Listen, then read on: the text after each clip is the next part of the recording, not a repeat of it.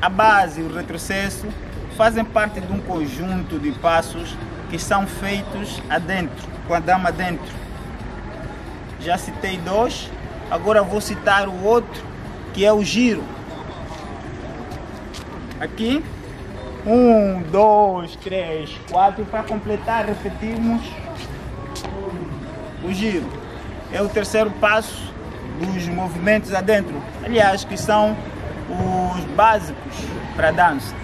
Depois disso, preciso mostrar mais alguns que fazem parte dos, dos passos que se dançam com a dama dentro. Um, vamos lá ver mais um. Já falamos do giro, já falamos do retrocesso, já falamos da base. É, podemos avançar com a dama e recuar com a dama dentro. Podemos também fazer as simulações com a dama dentro. Simulei, está dentro ainda. Ando para aqui. Bah. Simulação. Está dentro, isso aqui é base dupla. Está dentro. E, por último, a tarraxinha. As tarraxinhas são sempre com a dama dentro. São sempre com a dama dentro. Sempre, a... sempre entre aspas, porque as pessoas criam. E cada vez que um cria, um passo, um passo surge. Bem, depois de aprendermos os passos feitos com a dama dentro, precisamos treinar os passos feitos com a dama de lado. Aqui, o primeiro a ser indicado é a entrada da menina. Abertura ligeira, regressa. Aqui, abertura ligeira, a dama está para o lado. Que nos leva sempre para o retrocesso. Em todos os passos vamos acabando no retrocesso, porque o retrocesso é a ponte de um passo para outro. Segundo passo a ser indicado, a entrada do homem, que no final acaba sempre com a entrada da menina. Sempre que avançamos com a dama de lado, é a entrada do homem. Sempre que recuamos com a dama de lado, é a entrada da menina. O outro passo que seria importante também ser dito aqui no vídeo é a escada. Vamos fazer uma escada a recuar no início.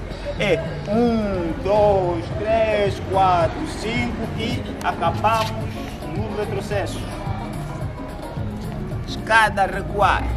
Agora vamos fazer uma escada a avançar, que também é muito importante que se treine no começo.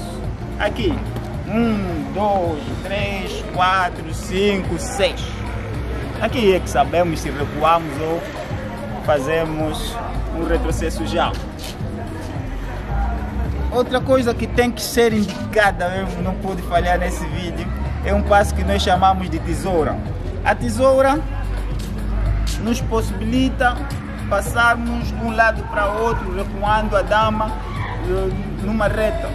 Aqui, andamos, um faz tesoura aqui, passamos, vamos desse lado, faz tesoura aqui e assim podemos exercitar até amanhã, vamos, acabamos o mundo se for possível. Pois, então, hum, acredito que existam outros passos eh, que são padrão, alguns que não me vêm em mente. E também só para dizer que os passos básicos são os que a dama estão dentro. Os outros são passos secundários. Esses passos secundários existem milhares, porque eh, a dança Semba e Kizomba, as danças Semba e Kizomba admitem que cada um seja criativo, que movimentos de outras danças entrem nas nossas danças. Por isso, cada dançarino tem, cada bom dançarino criou um passo. Hoje devem ser mais de 200 passos por aí. Ok. Do começo até agora, já podemos dizer, se, se fazemos bem um passo, já podemos dizer que temos a base bem feita. Agora, o que é necessário para sermos considerados como intermédio? Para estarmos na, na, na, na ala dos intermédios? É saber misturar esses passos todos que foram aqui mostrados.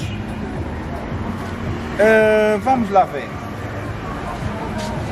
Vou começar com um passo simples que é o giro, retrocesso, Vou tirar do, do, dos passos com a dama por lado, que é a entrada da menina. Vou fazer aqui, giro. Vou fazer o retrocesso. Entrada da menina. Se eu souber misturar esses passos, já posso ser considerado como intermédio. Tem mais. Eu vou fazer simplesmente a entrada da menina. Oh, menti. Vou fazer agora a escada. Olha lá. A escada avançar. Não termino a escada, volto já. Poxa. Quando soubemos fazer essa escala, quando soubemos intercalar os passos, aí sim somos intermédios. Gostaria que nos acompanhassem, gostaria que metessem sempre like nos vídeos nossos, nossos que, que, que fazemos para nos dar força. Nós somos a turma do básico, nós somos Join Angola. Um abraço, espero que tenhamos ajudado.